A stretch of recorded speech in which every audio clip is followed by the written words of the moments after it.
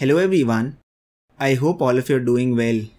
Extracting tables from images has become a very big business problem for a lot of organizations.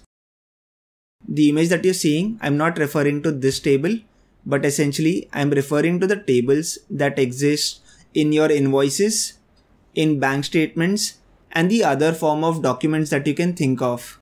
It is here that I stumbled upon an amazing GitHub repository called as Cascade Tabnet. This repository contains the code and implementation details of the CascadeTabNet paper. Before I proceed, I want to take this opportunity and thank each and every contributor of this amazing repository. I'll add the link to the repository in the description section of the video. Feel free to show some love to this amazing repository by starring and forking it. The entire paper essentially is used for table detection, table detection with classification, as well as structural recognition. So it's able to identify where you have tables in a given image. Secondly, it's also able to identify the components or the structures of that table.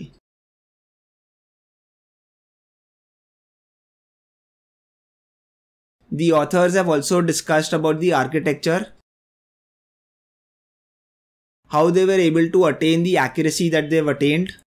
They've also done some benchmarking analysis. So feel free to read more on this. I'll directly jump to the implementation piece.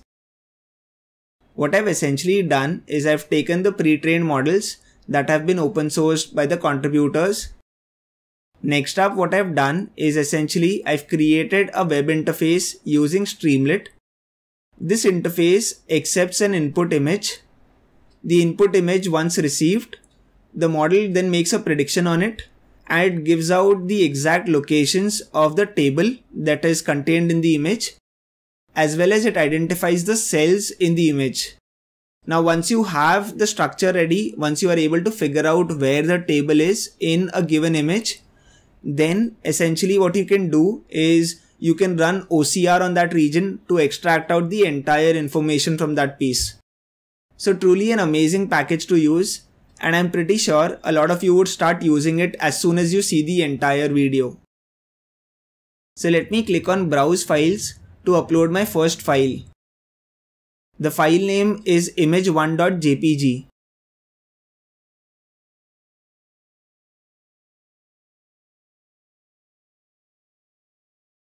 So this is a sample bank statement that I found on Google and as you can clearly see it has one distinct table that contains all the transaction history for that particular bank account. So now let me go forward and show you the predictions of the model. So as you can clearly see the pink region, the pink region here denotes where the table exists in the given bank statement. And the small green outlines that you see that essentially is where the cells are located inside the table. So the model is doing an amazing job in figuring out where the table is and essentially also figuring out the content of the table. Truly amazing. Let me go forward and show you magic again by uploading the second image that I have in hand. So the image name is image2.jpg So this is a sample invoice file that essentially contains three tables. Yes, you heard it right. It contains three tables. You have the first table that is just below the invoice. So you have rows such as date, invoice number and so on and so forth. So even that is a table.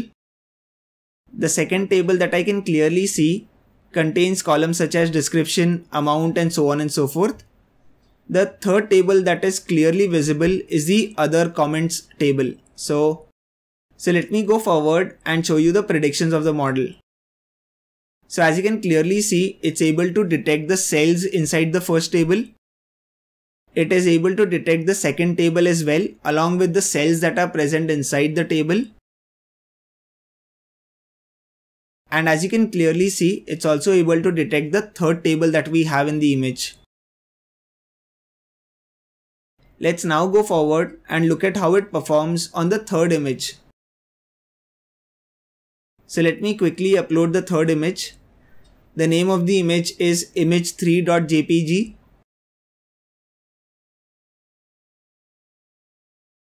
So this is a sample invoice that I found on Google. I can clearly see one major table here and that table contains columns such as description, quantity, unit price and the total amount. So let me go forward and look at the predictions. So as you can clearly see, it's able to identify the structure of the major table that we have. If I zoom in a bit, then I can also see that it's able to detect the cells that are present inside the table. So let me be very honest. I am truly amazed by what this pre-trained model can do. And I'm pretty sure organizations can start utilizing the power of this amazing package and start digitizing their documents.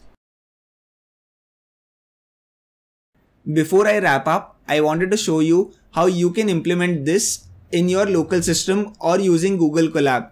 So let me quickly share the details across as well. So this is the repository that contains everything that you need.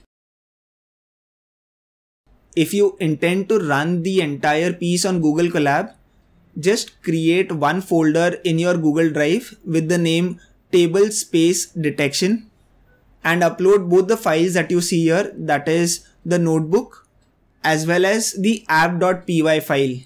That is all that is required. Once you've uploaded both the files, go forward and execute the cells in the notebook. Once you reach at the final cell, you will have a temporary URL that would be created for you through which you can essentially access the Streamlit web application and you can start using this amazing pre-trained models. So this is all that I had in today's video. I hope you found this video informative. If you do like the content that I post on my channel, it would be super motivating if you can press the subscribe button and also press the bell icon to be notified for amazing videos on data science and machine learning. Thank you so much for watching this video.